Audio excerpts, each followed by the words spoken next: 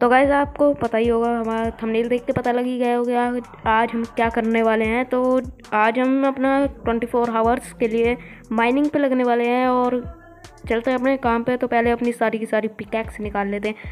बीच में भी बनाने पड़ सकता है मेरे को। देखते हैं क्या क्या कितने फेस कंप्लीट कर सकते हैं। एक कर पाएँगे, दो कर पाएँगे, क्योंकि इसमें फेस बहुत बड़े बड़े हैं। और तो चलते हैं माइनिंग पे।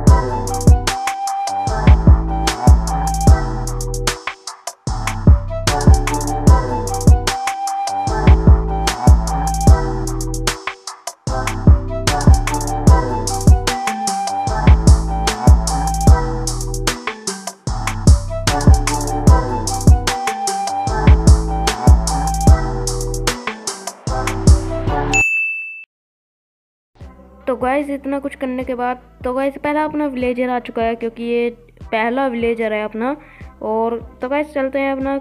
अपने कुछ अट्ठारह सौ कुछ ब्लॉक हुए हैं, और मैंने दो सौ तीन सौ ब्लॉक और माइन कर लिए हैं तो कुछ इतने ब्लॉक हुए हैं, और मैंने पहले भी रखवा दिए थे काफ़ी सारे ब्लॉक्स और ये अलग अलग टाइप के ब्लॉक्स हैं तो यार, इनमें काफ़ी दिक्कत आती है, कहाँ कौन सा रखवाना है, पता ही नहीं लगता। सैंड तो बहुत है, पर ये और ब्लॉक्स नहीं है। तो कोई बात नहीं, इनका भी चलता रहेगा। तो गैस ये लास्ट एक चेस्ट आई है। तो गैस ये अपना दीप स्वाम पूरा बायोम आ चुकी है एक।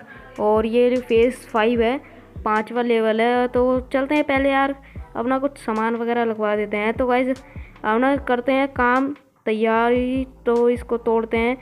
तो वैसे अपना पहला विंडिकेटर आया तो बेटा, आ तो आप, ये कुछ नहीं कर पाएगा आज। तो इसके थोड़े बहुत मरे लेते हैं, इससे एक एक शॉट मार गए तो इसको मार ही देते हैं, कोई बात नहीं। तो ये ले, और तो कैसे कुछ नहीं, ये विंडिकेटर कुछ नहीं कर पाएँगे हमका हमको। तो कैसे अपना पूरा डायमंड का आर्मर भी बनाना है अपने को। और डायमंड वगैरह आएँगे तो वो देखी जाएगी, ना, वरना अपना डायमंड का आर्मर तो बनाना ही है अपने को। और अपनी चेस्ट प्लेट बना लेते हैं हेलमेट बना लेते हैं तो बस यही दो चीज़ बन सकती हैं, और कुछ नहीं बन सकता। अगर कोई रेयर चेस्ट वगैरह आएगी तो उसके अंदर से मिल जाएगा सामान। तो कोई दिक्कत नहीं है, अपना तो कैसे अपना कुछ आर्मर ऐसा लग रहा है तो यार मेरे को डायमंड आर्मर बहुत अच्छा लगता है आयरन वार का आयरन अच्छा वार आयरन का आर्मर वगैरह अच्छा नहीं लगता। तो कैसे ये एक वॉन्डरिंग ट्रेडर आया यहाँ पर तो इसका कोई काम नहीं है, इसको मार देते हैं। तो ये कुछ भी ढंग की चीज़ें ट्रेड नहीं करता, बिल्कुल भी यही शुगर वगैरह कर देता है। ये तो हम वैसे भी उगा सकते हैं, और इसकी लामाज लामाज मेरे पास बहुत सारी हुई है। उनसे मैं परेशान आ चुका हूँ। तो वैसे हमने थोड़े बहुत पोटाटो प्लांटिंग कर लेते हैं और हम ट्वेंटी फोर आवर्स सर्वाइव कर रहे हैं यहाँ पर। और ट्वेंटी फोर आवर्स क्या यहाँ पर हमको ट्वेंटी फोर आवर्स में देखते हैं क्या क्या रिसोर्सेज कलेक्ट कर सकते हैं हम, कितने चीज़ें कर सकते हैं हम यहाँ पर। और वैसे तो मेरे को एक से दो दिन हो चुका है इस वर्ल्ड के अंदर। मैंने दो, एक से दो वीडियो डाल दिए इसके अंदर शायद से। और तो ये ट्वेंटी फोर हावर्स का चैलेंज है। ऐसा ही नहीं कि बिल्कुल ही माइनिंग ही करनी है। तो अपने वर्ल्ड में जो चाहें वो कर सकते हैं। माइनिंग ही ज़रूरी नहीं कि माइनिंग ही कर रहे हैं। ट्वेंटी फोर आवर्स के लिए हमें बिल्कुल इसके अंदर स्टिल रहना है।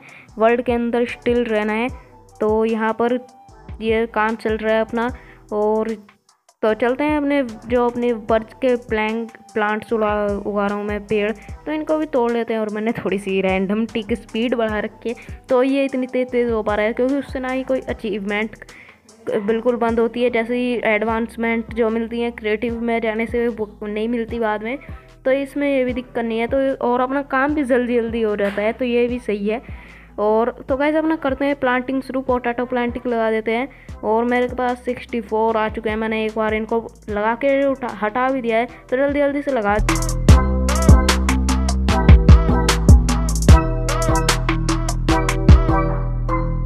सुबह हो चुकी है और देखते हैं कितने अपने प्लांट्स उग चुके होंगे। तो थोड़ी देर में ही उग जाते हैं क्योंकि रैंडम की स्पीड जितनी बड़ी हुई होगी, उतनी जल्दी ये ग्रो होने वाले हैं।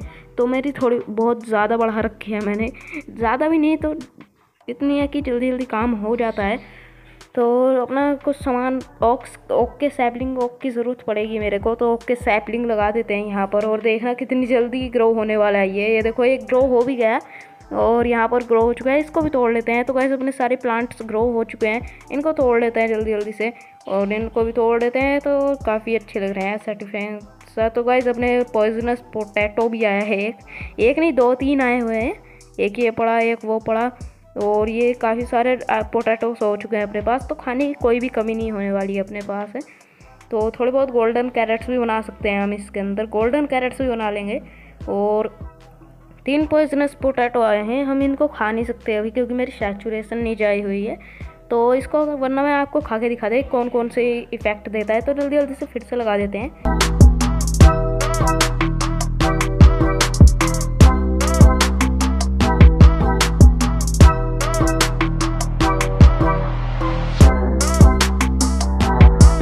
तो गाइज़ अपना सारा काम हो चुका है, बस ये एक एक पोटैटो रह रहा है तो इसके अंदर रह लगा देते हैं। तो गाइज़ मैंने गोल्डन नगेट्स बना लिए हैं और अपनी कैरेट निकाल के लाते हैं। तो मैंने इन पर भी थोड़ा बहुत रिसोर्स इनको भी कलेक्ट किया था। तो ये कर, इनको भी बना लेते हैं। बीच में रखनी है अपने को कैरेट तो कैरेट उठाते हैं और रख देते हैं और इसके चारों तरफ़ लगाने हैं अपने को गोल्डन नगेट्स तो अपनी गोल्डन कैरेट रेडी है और मेरे को गोल्डन कैरेट सबसे ज़्यादा पसंद है भाई फ़ूड में। तो वैसे मैंने थोड़े बहुत ग्लास इस मेल्टिंग पे लगा दिए हैं और उनको थोड़ा बहुत घर के लिए मैं लगा दूँगा यहाँ पर। और मैं निकाल के भी ले आया हूँ। तो चलते हैं जल्दी जल्दी से लगा देते हैं इनको भी। और तो गाइज़ इनको भी लगाना है, यहाँ पर कुछ इस टाइप से लगा देते हैं। और इनको लगा देते हैं यहाँ पर। दोनों तरफ़ से तोड़ते हैं इनको और लगा देते हैं। और ये काफ़ी अच्छी लुक देंगे ताकि ये पहले जो डब्बा सा घर लग रहा था, ये अच्छा ये मेरे को कोई भी बीच में सेंट्री नहीं है भाई मेरे घर का इसका। तो यहाँ पर इनको भी हटा देते हैं। और यहाँ पर इसको ग्लास को लगा देते हैं। यहाँ पर मैंने और भी ग्लास इस मेल्टिंग पे लगाया हुआ है। और यहाँ पर ऊपर वाला जो ब्लॉक है तो इसको भी लगा देते हैं यहाँ पर एक ग्लास तो देखते हैं कैसा लग रहा है बाहर से। तो तो गैस अपना ये एक आँख का घर बन चुका है। तो तो वैसे आपको ये वीडियो कैसी लगी? कमेंट करके ज़रूर बताना। अगर आपको ये वीडियो अच्छी लगी तो वीडियो को लाइक कर देना। चलो मैंने तो सब्सक्राइब कर देना। और आपको ये सीरीज़ कैसी लग रही है, कमेंट करके ज़रूर बताना।